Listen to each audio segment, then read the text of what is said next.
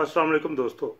दोस्तों, पाकिस्तान की वकला बरदरी में जुडिशल एक्टिविज़म के असरात मरतब होना शुरू हो गए हैं और पार्लियामेंट में चीफ जस्टिस के बेानतहा इख्तियार को एक मखसूस दायरे में लाने के लिए कानून साजी से वकला बरदरी दो धड़ों में हमें तकसीम होती नज़र आ रही है।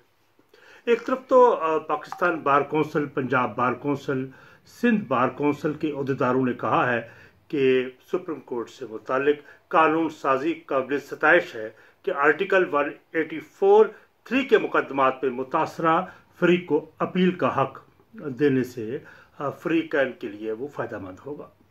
और दूसरी तरफ़ सुप्रीम कोर्ट बार के सदर आबद जुबैरी ने कहा कि सुप्रीम कोर्ट की जुडिशल पावर ख़त्म नहीं की जा सकती और ना होनी चाहिए और ये कहा कि धमकी दी कि ये हमारी रेड लाइन है। जिसका हम दफ़ा करेंगे। लाहौर हाईकोर्ट का जो फैसला नबे दिनों में इलेक्शन होने के हवाले से है, वो कहाँ है? और आइन कहता है कि इलेक्शन नबे दिनों में होने हो, चाहिए तो वो वो क्यों नहीं हो रहे? और सब चाहते हैं कि असलाहत हों, लेकिन गलत वक्त पर यह बिल पेश किया गया। अच्छा पार्लियामेंट में मंजूर होने वाले बिल की हमायत में सिंध बार एसोसिएशन के अहदेदारों का कहना था कि अदालती असलाहत से अदलिया की आज़ादी को तकवीत मिलेगी। आम आदमी को इंसाफ मैसर होगा। पंजाब बार एसोसिएशन के अहदेदारों ने कहा कि आर्टिकल 184 ओब्लिक थ्री के मुकदमात में अपील का हक फ्री कैन के लिए फ़ायदेमंद होगा। पाकिस्तान बार कौंसिल के वाइस चेयरमैन हारून रशीद और chairman executive committee Hasan Raza, Pasha और chairman bar council Basharatullah Khan साहब हैं। Chairman executive committee bar council Tahir Rashid ने भी बयान में कहा है कि सुप्रीम कोर्ट के अज खुद नोटिस के इख्तियार के इस्तेमाल का तरीक़ाकार तय करना पाकिस्तान बार कौंसल का दरीना मुतालबा है। तरमीम से आर्टिकल 184 के इस्तेमाल से मुतासरा फरीकैन को हक मिल जाएगा। अपील का हक मुतासरा मुतासरीन और आवाम के लिए बहुत फ़ायदेमंद है। अहम और फौरी नोयत के केसेस चौदह दिन के अंदर समात के लिए मुकर करने की तरमीम भी खुश आहिद है। और आ गया कि आर्टिकल 184 के मुकदमात में मुतासरा फ्रीकैन को अपील का हक देने से फ्रीकैन के लिए फ़ायदामंद होगा। अच्छा अब पंजाब बार कौंसिल के रहनुमाओं ने वकला तहफ़ और वकला बहबूद के बिल 2023 की मंजूरी पर वफाकी हुकूमत ख़ास तौर पर उन्होंने वाकई वज़ीर आज़म तारण और मेंबर बजाब बार कौंसिल का शुक्रिया अदा किया। कि सुप्रीम कोर्ट बार किसी सियासी जमात से ताल्लुक नहीं रखती, एक ही मुतालबा है कि चीफ जस्टिस अपना हाउस ऑर्डर में लाए।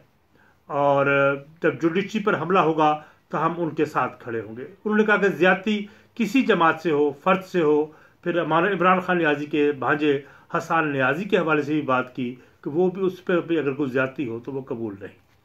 मजलूम के साथ खड़े हुए हैं। हम किसी सियासी जमात के साथ नहीं, बल्कि काले कोट के साथ है। ये मौकफ था वहाँ उन लोगों का जो दर पर्दा जिनके देरीना ताल्लुकात या जो जेर असर थे, पीटीआई के। उन्होंने कहा कि वकला का कानून की हुक्मरानी पर यकीन रखते हैं। रात को सोमोटो नोटिस पर अदलिया के लिए रूल्स बनाए गए। जस्टिस शबर रजवी ने कहा, कानून में कहा गया, अगर वक्त से पहले कौमी या सूबाई असम्बलियाँ तहरीर होती हैं तो इलेक्शन नबे रोज़ में होते हैं। लेकिन ये कह रहे हैं, ये ताखिर से होंगे। इलेक्शन कमीशन आइन और कानून के खिलाफ इकदाम कर रहा है और इकहत्तर में भी ऐसा हुआ। हर कोई आइन अपनी तशरी और असलाहत कर रहा है। उन्होंने कहा कि इकहत्तर में भी ऐसे वाक़ हुए कि हर कोई उस वक्त आइन की अपनी तशरी कर रहा था और उसकी वजाहतें कर रहा था। लेकिन कौम ने कोई सबक नहीं सीखा। और इस वक्त भी पाकिस्तान आधा पाकिस्तान हमसे चला गया और बदकिस्मती से, क्योंकि हमने नहीं सीखा और सैतालीस के बाद जो पाकिस्तान बना, वो इकहत्तर में टूट गया। अब खुदारा, अब इस टूटे हुए पाकिस्तान को ना मजीद ना तोड़े। अच्छा अदालत उजमा के जजों के दरमियान अख्तिलाफ़ मंजर आम आने पर वकला खासे परेशान है, क्योंकि इससे आइन के तहत एक अहम अदारे की हैसियत से अदलिया के तकदस एहतराम को नुकसान पहुँच सकता है। कन्वेंशन में chief justice of Pakistan Umar Ata Bandial से मुतालबा किया गया कि वो सुप्रीम कोर्ट के तमाम जजेस के माबेन इख्तलाफात को अदारे के वसी तर uh, मफाद में खुश असलूबी से हल करें।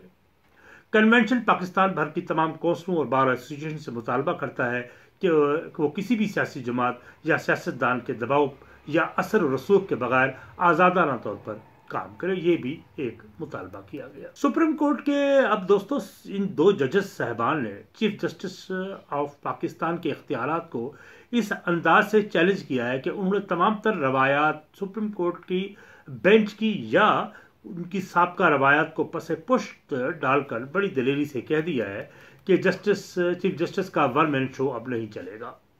और यकीनी बनाना होगा कि सुप्रीम कोर्ट शाही अदालत न बने। यह भी कह दिया उन्होंने कि चीफ जस्टिस के पास बेलगाम ताकत है, जिसका वो लुत्फ उठाते हैं, लेकिन अदलिया का वकार पस्त हो रहा है और उसे कड़ी तनकीद का सामना है। इन जजेस, दो जजेस सबान ने अपने फैसले में यह भी कहा कि सुप्रीम कोर्ट अपने इख्तियार का इस्तेमाल का ढांचा बनाने में मुकम्मल तौर पर नाकाम रही है। और इसके फैसले के बाद कहा गया कि सूबाई मामला में सुप्रीम कोर्ट को मुदाखलत नहीं करनी चाहिए। सुप्रीम कोर्ट के इन दो जजेस साहबान की जजमेंट आने के बाद, इनके फैसला आने के बाद, हुकूमी हुकूमती इतिहाद ने भी झुरझुरी ली और वो भी फ़ौरन एक्शन में आ गई। और पार्लियामेंट में एक बिल पेश कर दिया, जिस जिसका मकसद सुप्रीम कोर्ट के जज साहबान के फैसले के मुताबिक चीफ जस्टिस ऑफ़ पाकिस्तान के सो मोटो एक्शन लेने, बेंच बनाने और केस फिक्स करने के लामहदूद इख्तियार को इंस्टीट्यूशनलाइज किया जाए। और इन पार्लियामेंट में हुकूमती अरकान और वज़ीर अजम शहबाज शरीफ ने सुप्रीम कोर्ट और चीफ जस्टिस के इख्तियार पर बहुत से सवाल उठा दिए और जहाँ तक कह दिया कि दूसरों को मुशावरत का मशवरा देने वाले खुद को मशवरा क्यों नहीं करते। मीडिया में यह भी कहा गया कि चीफ जस्टिस या सियासतदानों के दरमियान लड़ाई का तो ज़िक्र करते हैं, लेकिन चीफ जस्टिस साहब को ये इल्म नहीं कि उनके, के बिल्कुल नाक के नीचे जो कुछ हो रहा है, जिस तरह सुप्रीम कोर्ट की जो बेंच है, वो तकसीम हो चुका है तो उसको वो नज़रअंदाज कैसे कर रहे हैं? और या कर रहे हैं तो फिर नज़रअंदाज जानते बूझते वो कर रहे हैं। और सियासतदानों पर उंगलियाँ उठा रहे हैं। तारिक इंसाफ इस हुकूमती इकदाम को जो पार्लियामेंट में उठाया गया, उसको सुप्रीम कोर्ट पर हमला तस्वर कर रही है। अब ऐसा महसूस हो रहा है कि पार्लियामेंट की तरफ़ से चीफ जस्टिस के अख्तियार को महदूद करने और इन अख्तियार को जजेस हजरात को, की कमेटियों के ज़रिए इस्तेमाल करने के लिए की जाने वाली कानून साजी पर सुप्रीम कोर्ट की तरफ़ से मुमकिन रद्द अमल अब आ सकता है। जी हाँ ऐसा हो सकता है और सुनीद है। कि चीफ जस्टिस उमर अता बंदियाल और उनकी लॉबी के जजेस साहबान ने दूसरे जजेस साहबान को अपने मौकफ की तईद के लिए लॉबिंग का आगाज़ कर दिया है। और मुमकिन हद तक चीफ जस्टिस और उनके हम ख्याल जज हजरात पार्लियामेंट की किसी ऐसी कानून साजी को अदलिया की आज़ादी पर हमला तस्वर करते हुए ऐसे किसी भी कानून को ही सिरे से ख़त्म कर दे, जिससे सुप्रीम कोर्ट और पार्लियामेंट एक बार फिर आमने सामने आ सकते हैं। और ये अमर ऐसा हुआ तो ये अमर बहरानों में घिरे हुए पाकिस्तान को एक बड़े बहरान की तरफ़ धकेल सकता है।